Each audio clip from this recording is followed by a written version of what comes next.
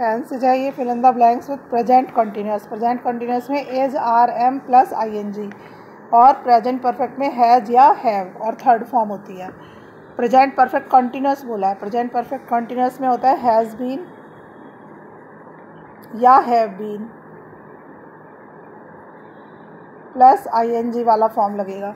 और present continuous में मैंने बता दिया एज आर एम और आई एन जी यहाँ से पढ़ेंगे। Wait what are you doing? क्या हो जाएगा? What are you doing partner I to fix the light in the bedroom तो I am trying I am trying I at evening I just can't get it right तो I am trying right now I history I am studying I am studying partner I history all day long देखिए इसमें actually इस book में ना गलत दिखाया हुआ है। जहाँ पास परफेक्ट कंटिन्यूस का यूज़ आता है उसमें ऐसे लास्ट में ऐसे आता है जैसे for three years for three days since तो इसमें सिंस या फॉर नहीं आया। तो ये इसलिए अब लेकिन लगाना तो है तो इसलिए थर्ड वाले में आई हैव बीन ट्राइंग इसका मतलब हो जाएगा, मैं चार शाम इसको ट्राई करता रहा और अभी तक भी सही नहीं कर पाया। ऐसे यहाँ हो जाएगा I have been studying all day long पूरा दिन स्टडी कर रहा था। अब इसमें है complete the sentences using correct form of verbs given in the brackets in each sentence one verb will be given in the simple present past tense and the other is the past continuous tense इसमें आपको या तो simple past लगाना है simple past ED वाला होता है और पास्ट कंटिन्यूस क्या था? वाज या वर प्लस आईएनजी वाला। तो जैसे ये है, Mahima, Murali while she in the park this evening तो Mahima met Murali M E T met Mahima, Murali से मिली।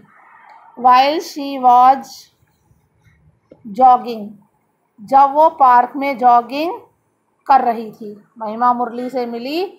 वाइल के बाद आईएनजी वाला लगता है। वाइल मतलब जब वो पार्क में जॉगिंग कर रही कर रही थी।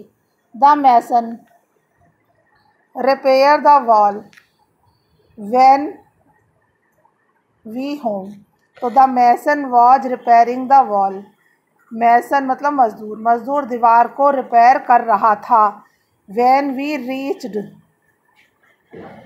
होम जब हम घर पहुँचे the family television when Sanjana when वाले के बाद यहाँ पे कौन सी फॉर्म आती है? पास फील की जगह होगा felt the family was watching television इसकी हिंदी हुई फैमिली टेलीविज़न देख रही थी, जब संजना ने अर्थक्वेक महसूस किया।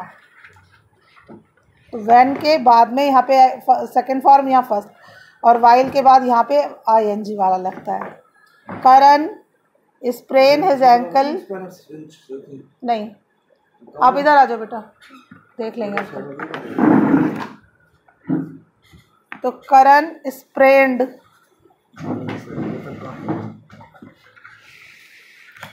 Karan sprained his ankle ankle मतलब पैर की एड़ी। करण की एंकल में स्प्रेन आ गया, स्प्रेन मतलब मांस का फट जाना एक तरह से। While he was moving while he was moving some furniture जब वो कुछ फर्नीचर हिला रहा था। आई हैव अ बाथ तो पास फॉर्म आएगी हैव की आई हैड अ बाथ नहीं होगा। I was having a bath मैं नहा रहा था। When the door bell rang जब डोर बेल बजी। आप लोग इस तरह याद कर सकते हैं वैन के बाद सेकेंड फॉर्म उससे पहले I N G the students quietly when the teacher तो वैन वाले में यहाँ पे तो पास फॉर्म आएगी एंटर्ड जब